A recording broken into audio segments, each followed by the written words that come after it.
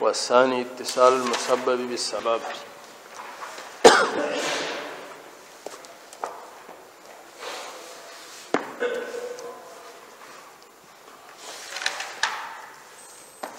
دویم قسم اتصال د مسبب د سبب سره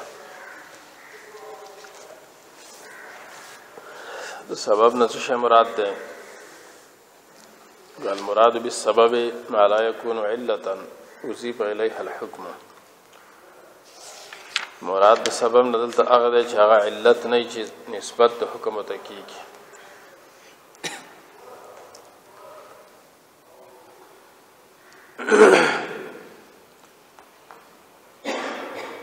د کې اشاره دی تر چې دا سبب چې د دې یو معنا عامه ده مفزی الى الحکم په دې معنی سره دا علت تم شامل دی یو معنی خاصه ده په هغه معنی سره دا مقابل د علت ده علت هغه چې مفزی حکم ته یو د حکم نسبت هغه ته کیږي او دا غي وزن دی حکم د پاره شوی او سبب هغه چې مبذل الحکمی خو نسبت د حکم دې ته نه کیږي وزل دې د حکم د پاره نه شي په مراد په سبب سره مالا یکون علتا حذف الیه الحکم مقصد دا چې دلته معنا خاصه مراد ده چې دا مقابل د علت معنا عامه نه د مراد چې شامل د علت ده په اصطلاح په اصطلاح د اصولینو کې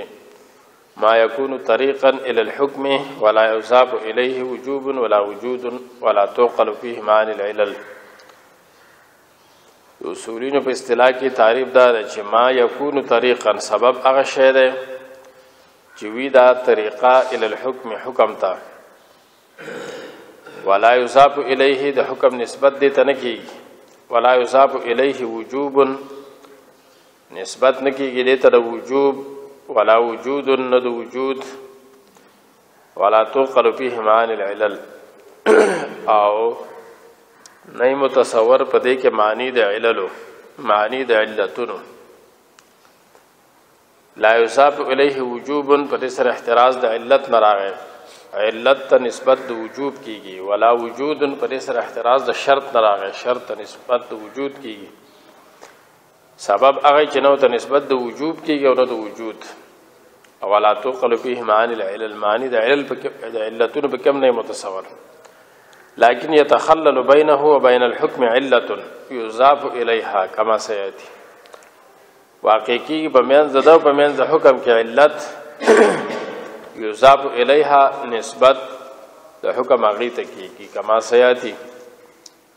لکه مثال به روس تراش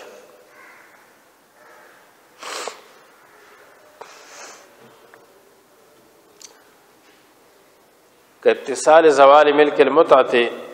به زوال ملک الرقبه مثال درې لپاره لکه اتصال د زوال د ملک د متعه د زوال د ملک د رقبې سره یو سړی وینځره د دغه مالک دی هغه وینځه مسلمانه ده نو د د چې پاغه باندې ملک رقبي حاصل شو دغه په ذات باندې ملک راغې ور سره ملک مطعم حاصل شو د د لپاره دغه سره جما کول جایز دي وس ار کله چې د داوین ز آزاد کړه نو هغه ملک متعی چې د هغه زائل شو نو دا غي سره دا دغه ملک متعی ملک رقبی زائل شو هر کله ملک رقبی زائل شو نو ور سره ملک متعی هم زائل شو نو یو زائل کېدل د ملک رقبی دی او یو زائل کېدل د ملک متعی دي نو دا زائل کېدل د ملک متعی متصل دي د زائل کېدو د ختمېدو د ملک رقبي سره د ملک رقبي ختمېدل سبب او د ملک متعی ختمېدل مسبب دا مسبب د خپل سبب سره متصل دی فانه اذا قال لامته کله چې سره خپل وینځ ته وی چې انت حره ته آزاد یزول به ملک ملک الرقبه نو زایل کیږي ختمي کې په دې سره ملک رقبي ملک د ذات داغي و بواسطه زواله واسطه د زوال دغه ملک رقبي سره یزول ملک المتعه زایل کیږي ملک متعي نو فلا يحل الوتي بعده جائز بنئ د دغه سړی د پاره وتی د دغه وینځي بعده پس د آزادولونه الا بالنکاح مگر په نکاح سره که دوباره سره نکاح وکړه بیا خو په ولوتی جایز یو که نکاح سره ونه کو نو اسی هغه حل چې هغه ختم شو او هکذا ثبوت ملک المتعه بثبوت ملک الرقابه دغه رنګي ثبوت د ملک متعی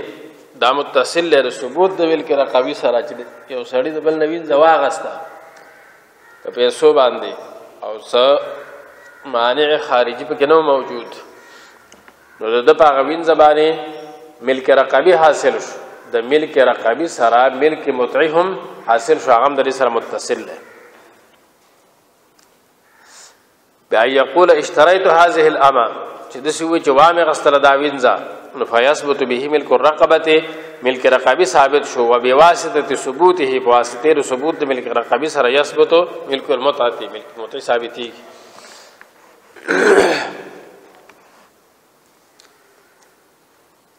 نو ملک متعی مسبب ملک رقبی سبب زوال د ملک متعی مسبب او زوال د ملک رقبی د دې لپاره سبب شو فیصح استعاره السبب للحكم دون عكسه صحیح ده استعاره د سبب د پاره د حکم چې دا حکم په سوال راغواړي او په دا دغه سبب او د حکم د پاره استعمال کې ذکر د حکم سبب او مراد نه مسبب او حکم خو عکس نه جایز چې ذکر د مسبب شي او مراد ته سبب شي چې دا مسبب ته په سوال باندې غواړي د سبب د پاره بیا یقولا چې دسی وای چې انت حرتن او ويريد به انت طالقن نو ذکر د زوال د ملک رقبی ده او مراد څه شری زوال د ملک متعی نو دا به جایزي معنی دار چې منکوحی تر سی وای وینځ تنا من کوحی ته رسی وای چې انت حرتن او مراد به سره سي انت طالقن نو طلاق به واقع کیږي ځکه انت حرتن دا وځه شو ده د زوال د ملک رقبی د پاره او انت طالقن د زوال د ملک متعه د پاره نو زوال د ملک رقبی سبب د پاره د زوال د ملک متعین ذکر ذکر د سره د زوال د ملک رقبی دی او مراد ته زوال د ملک متعین ذکر د سبب او مراد ته مسبب ده نو دا صحیح دی په دې سره به اخذ طلاق کیږي او تقول یا دسی وای چې بعت نفسي منک وتريد وتريد به النکاح خزه دسی وای یو کس ته چې بعت نفسي منک او او اراده کړې بلې سره صحیح نکاح چې ما خپل ځان تعالی په نکاح درکو او هغه و چې قبلتو نو ذکر د بیع او مراد تینا نکاح ده دام صحیح ده ولا یجوزو ان یقول جائز نری چې دسی وای چې انت طالقن او اراده کې بری سر انت حرتن جائز نه دی دا مطلب نه لکه چا دې سی وی چې انت طالقن او اراده د انت حرتن کړوا نو د ناروا کارو کو د په دې الفاظ ویل او په دې را دي ګرانګار شو دا مطلب نه ده مطلب دا دی چې دا انت طالقون ویل او انت حرتون پر سره دا اراده کول دا صحیح نه دی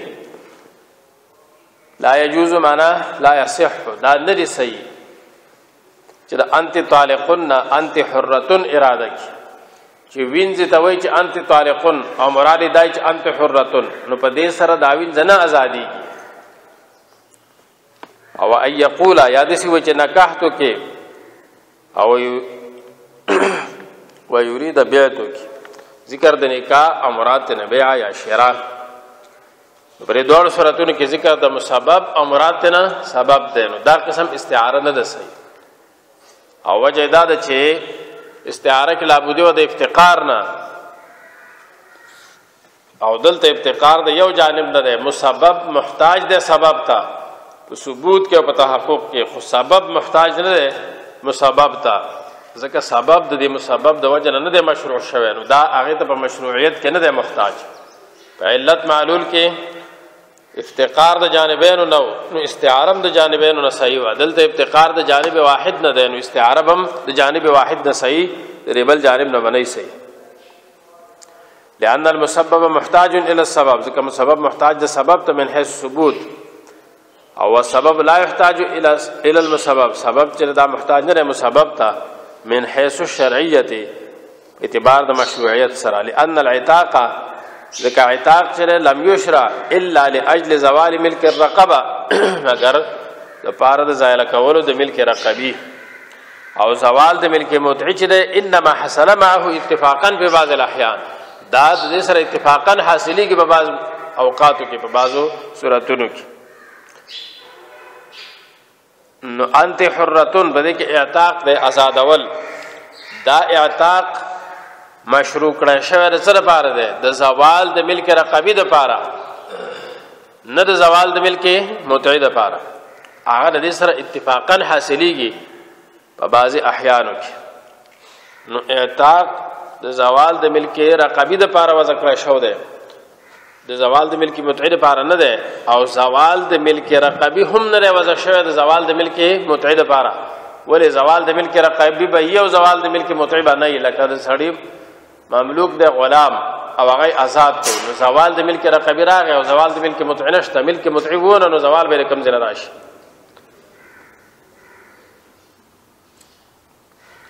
وکذل بیع دا رنګ بیع چې دا انما شرعه دا مشروع کړی شوی د ملک رقبته د بار د ملک رقبی چې په ذات د سیز باندې سړی ملک راشي وحل الوتی انما حصل معه اتفاقا حل دوتی حاصلېږي د دې سره اتفاقا په بعض احوالو کې چې کله بیع د وینځي کړي او پای کې سمانه خارجه موجود نه هغه وینځه مجوسیه نه د درزای خور نه په بل طریقې سره په حرام نه نو دا حل د وته سره حاصلېږي اتفاقا په بعض الاحوال ځکه وایي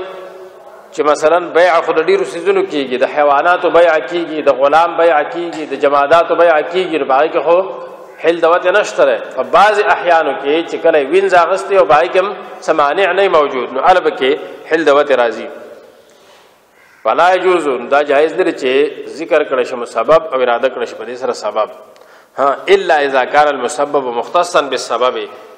کله چې مسبب مختص په سبب پورې د مسبب د پاره سبب سبب واحدی بل شی ورله سبب نه نو ال تبیا دا په منزله د علت او د معلول باندې شو لکه د معلول د پاره علت چې نو هغه مختص په معلول پورې نو دلته دا مسبب معلول مختص په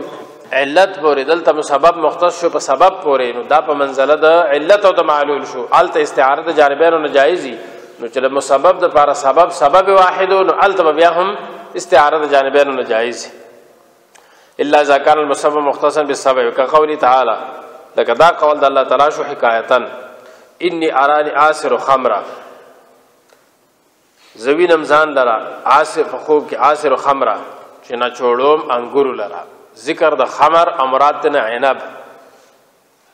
ځکه شراب چې دی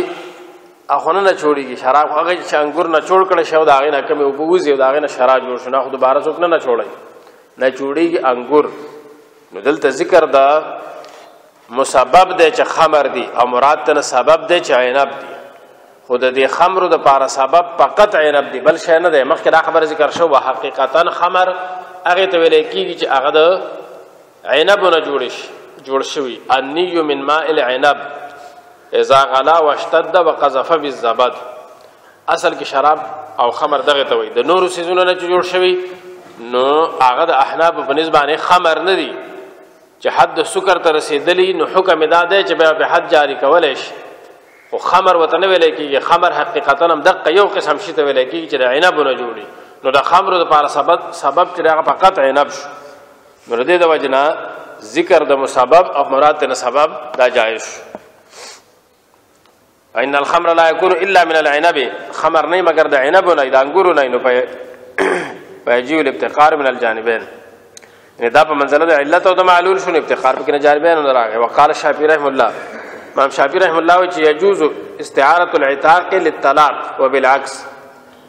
هغه وی استعاره د عتاق د طلاق لپاره هم صحیح ده او استعاره د طلاق د عتاق لپاره هم صحیح ده ذکر د عتاق مراد ته طلاق هم جائز او ذکر د طلاق او مراد ته عتاق غسل هم جائز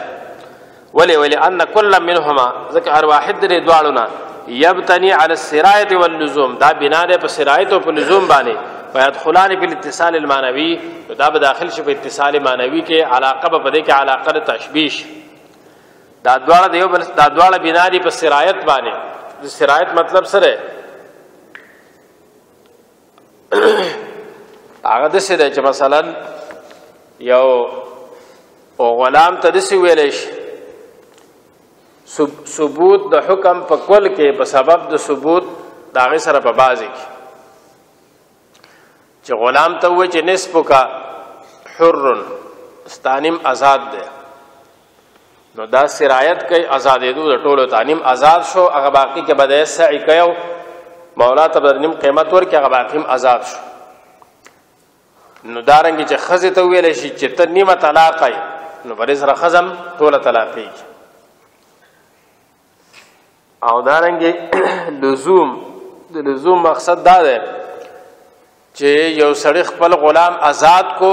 انت انت حرن وتوي یا وینځ ته انت حرته نو وي نو بس دا خبره بدل لازم شو دی برته د دینه رجوع نشي کولای د دې پس خبيانه کی نو د قرنګي چې خزه ته انت طالقون او نو خزه طلاق شو نه دا غنه رجوع کولای شي او نه د دې بیا پس خکی نو په عتاق کې هم سرایت ده او هم پکې لزوم ده په طلاق کې هم سرایت هم پکې ده او لزوم هم پکې ده نو په دې سرایت او لزوم کې دا دواړه د یو بل سره مشابه شو نو علاقه پکې علاقه د تشبیه شو طلاق د سویل شته چې طلاق په شان د عتاق باندې دی په سرایت کې یا طلاق په شان د عتاق دی په لزوم کې یا عتاق په شان د طلاق په سرایت یا په لزوم کې نو دا اتصال بده کې څه شو اتصالي سوري نه شو بلکې اتصالي معنوي شو تو د جانبینو نه پکې استعاره صحیح ده ذکر د طلاق مراد اتا کم صحیح او بالعکس هم صحیح ونحن نقول لیکن موږ ورته نس وایو چې د دې دوړ په منځ کې تضاد ده الطلاق موضوع لرفع القید طلاق چې دا وځکړه شو د لپاره د رفع د قید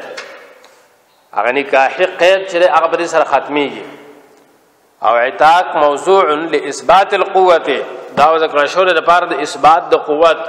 غلام چې غلامي نو پای کې ضعف حکما او کله چې هغه آزاد شي نو قوت حکم ورته حاصل شي نو هغه یو د پاره د رفع د یو سیز دی او د بل د پاره د اثبات د یو سیز دی نو فلا تشابهان اصلا دې دوړ په منځ کې مشابهت نشته بلکې تضاد دی پکې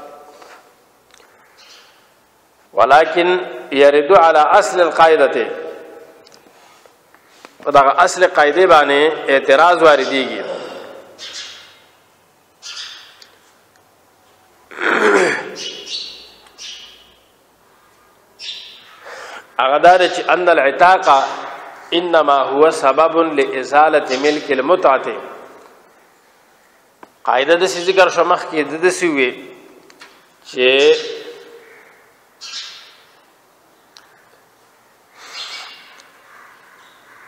اعتاق چې ده نو دا وځ کړه شوی ده د زوال د ملک رقبی د پاره او د دې سره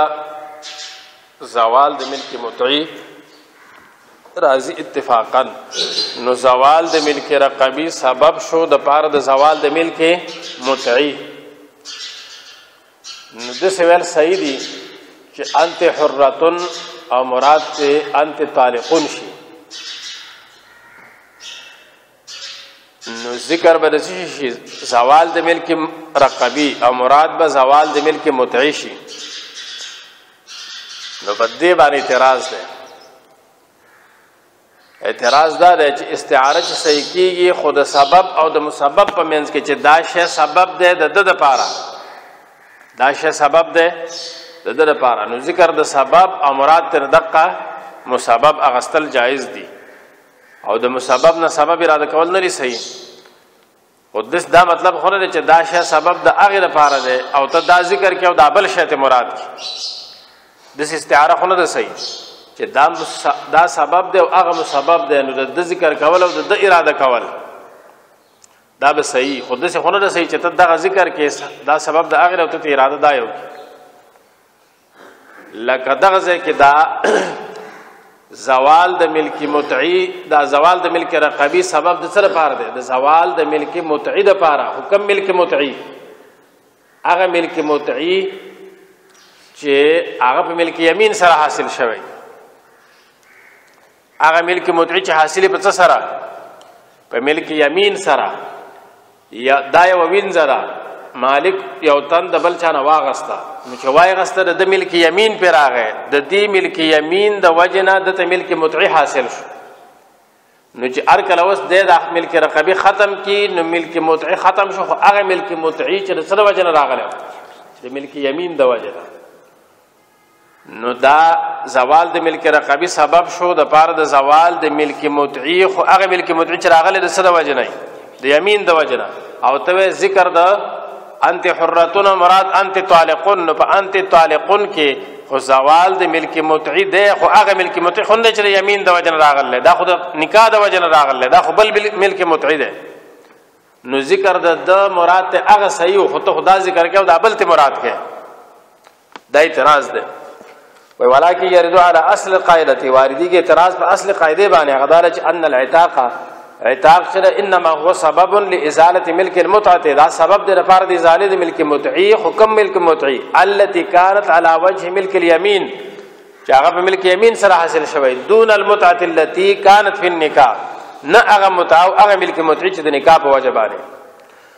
دارنګ وکزل بیع بیع چې دا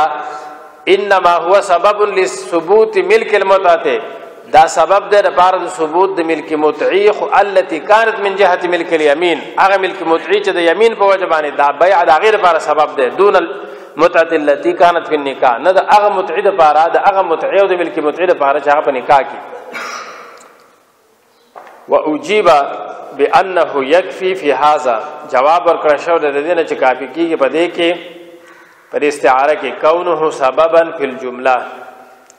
کېدل د دې شی سبب فی الجمله لا کونه سببا علی وجه مخصوص به نه کېدل د دې سبب په داسې وجه سره چې هغه مخصوص ہے په دې پورې مطلب دا چې په دې مجاز کې په اعتبار د سببیت سره دا واجب نه ده چې دا معنی حقيقي چې دا, دا به سببي د دغه معنی مجازي بعینه د پاره چې دا کومه موږ اراده کوو د دې لپاره به بیانی سبب نه کړه دې لپاره بیانی سبب هم سیدا کړه دې لپاره بیانی سبب نو خود دې د جنس لپاره سبب نو بیا هم ذکر د معنا حقيقي او مراد تر دغه معنا مجازي سیدا مطلب دا رکه دا شی سبب بیانی هدا د لپاره او ته دای ذکر کې او دای را د کین هم ټک دا او که دا شی بعینه د د ده لپاره سبب نه دی مثلا خو د ده د جنس لپاره سبب دی د دې دواړو جنس یو دی د ده د جنس یو بل پر دی او د هغې لپاره دا سبب دی نو بیا هم د هغې ذکر کول او د دې اراده کول جایز دی نو ملک متعی چې دی دا یو جنس دی د دې دوه افراد شو یو ملک متعی یمینی شو په علا وجه الیمین او دویم ملک مدعی علا وجه النکاح نو ذکر د اعتاق ذکر د بیع او مراد تینا هغه ملک یمینی علا دا ملک مدعی علا وجه النکاح دا صحیح ده ځکه دا بیع اگر چې بیعینه د دې لپاره سبب نه راخره د بل جنس یعنی دغه جنس نه بل فرد او دا غیر لپاره دا سبب دی چې هغه څه شری ملک مدعی علی وجه الیمین دا غیر لپاره سبب ده نو ذکر د بیع او مراد تنه ملک نکاح صحیح شو اگر چې هغه د دې لپاره سبب خو نه ده خو د بل جنس لپاره نه ده د د دې جنس د بل فرد لپاره هغه څه شی هغه سبب ده د قرانګي ذکر د اعتاق او مراد تنه طلاق دا صحیح ده ځکه په طلاق کې هم زوال د ملک ده د ملک متعی خو ملک متعی علی وجه النکاح نو دا عتاق اگر چې بیانې د در لپاره سبب نه خو د دغه بل جنس لپاره نه دا شی لپاره دا فرد لپاره چې د جنس نه دی دا غیر لپاره سبب دی نو دا جایز دی واوجب بانه یکفی فی هذا کافی کیږي بده کې کېدل د هغه شی د سبب سبب فی الجمله چې فی الجمله سبب نو کبه عینه د در لپاره یو کنا د دغه جنس نه بل فرد د غیر لپاره سبب دی لا کونه سببا علی وجه مخصوص به او دا به ضروری نه چې دا به خاص د د لپاره سبب وي نو دا غي ذکر کول او د مراد کول به صحیح دا سبب کې دل به عینه د دغه سیز د لپاره د معین شی د لپاره دا به ضروری نه ده